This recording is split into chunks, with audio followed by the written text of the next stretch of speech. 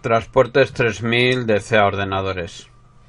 Vamos a ver cómo calcular lo que es la rentabilidad por viaje, por transportista, por camión, por cliente y por empresa.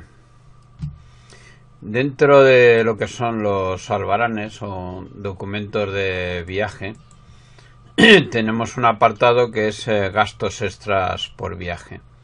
Aquí podemos ir introduciendo ilimitados gastos que son imputables a ese viaje, ya sean, pues como decimos aquí, peaje de autopistas, multas, reparaciones, cualquier gasto que se pueda imputar a este viaje, lo podemos incluir aquí.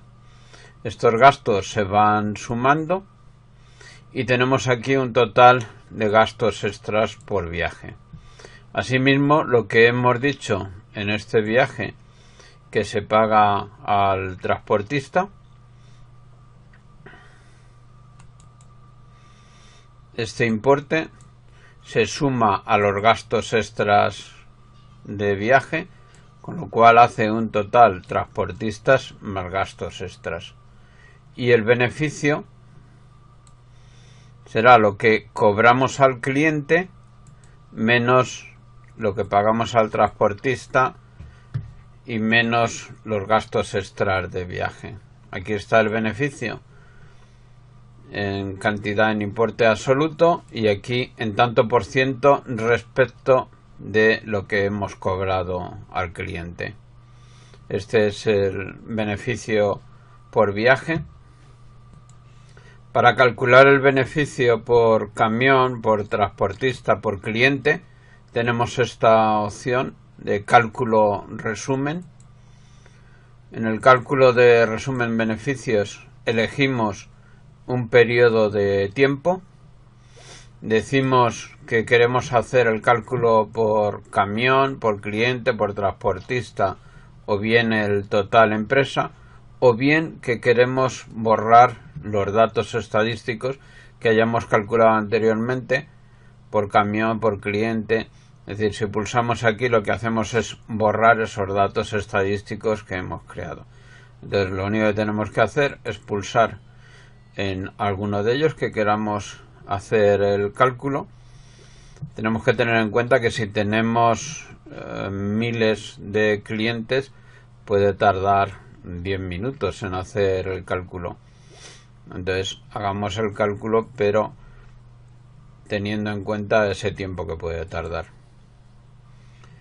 Una vez hechos los cálculos, si vamos a menú auxiliar y vemos aquí en resúmenes por camión, aquí están los cálculos de los beneficios, tanto por camión, por transportista, por cliente y por empresa. Si vamos aquí, vemos por camión, lo primero que nos da es el periodo de tiempo, el intervalo en el que hemos hecho el cálculo, la cantidad de viajes, el importe de las reparaciones para ese camión, el consumo del combustible, el importe de lo que le hemos cobrado a los clientes los viajes hechos con este camión, el importe de lo que se ha pagado al transportista, los gastos extras de viaje y con eso calcula un beneficio. Y aquí da la matrícula del camión. Si vamos por transportista, vemos que el cálculo es igual. La cantidad de viajes, las reparaciones que son atribuibles a ese transportista, el importe de lo que se ha cargado a los clientes, lo que se le ha pagado al transportista, los gastos extras y lo que es el beneficio. Y así sale absolutamente para todos los transportistas que tenemos. Aquí figurarán todos los transportistas. Exactamente igual para los clientes.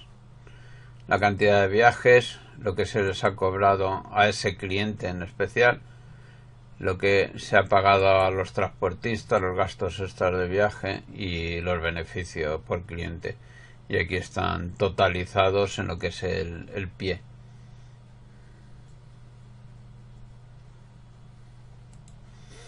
Y por último, lo que es el resumen de empresa en, el, en ese periodo, la cantidad de viajes que hay, las reparaciones el consumo de combustible, el importe eh, total que se ha cobrado a los clientes. Aquí tendremos resumido lo que como empresa hemos tenido de beneficios.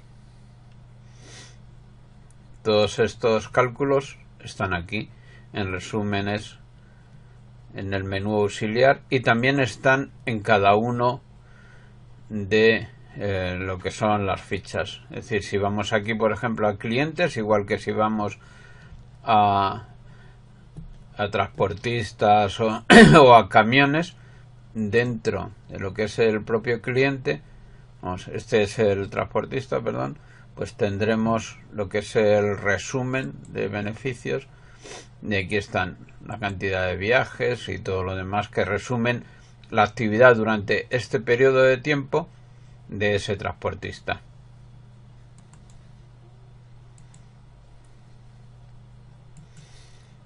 Si vamos a la ficha de un cliente, pues lo mismo. Dentro de la ficha del cliente vemos resumen y ahí está totalizado todo.